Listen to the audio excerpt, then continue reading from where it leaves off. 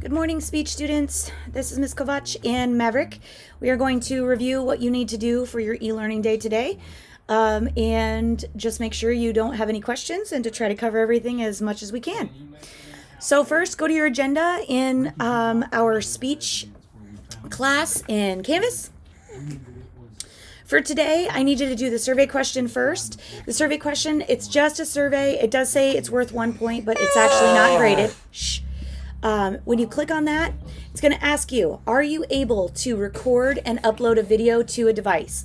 If you have your Chromebook at home, the easiest way to do this is to go to the um, file upload in the assignment submission and record right from your Chromebook. But I want to make sure that your recording device actually works on your Chromebook. So if you could, make sure that that works for speech and then um, just answer yes or no. If it works, great. If it doesn't, we're going to have to figure out something else for your speeches.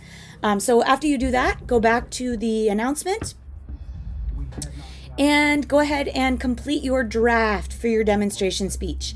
You should have already thought about what you're going to do for your demonstration speech. You should have thought about what images or um, visuals you're going to use for your demonstration speech. And you should have also thought about step by step where you need to actually show us what you're doing.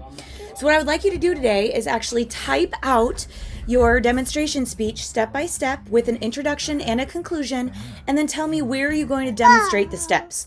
I gave you an explanation for this in the assignment. So if you look, it says introduction. I briefly explain step by step how to do things.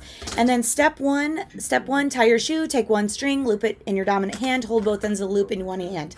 I would then need to show you that. So I put dash demonstrate. Okay, so that's kind of what I need to see in your draft is that you have thought about where you're going to actually show me the step by step things for your demonstration speech and that you've typed it out and thought about it.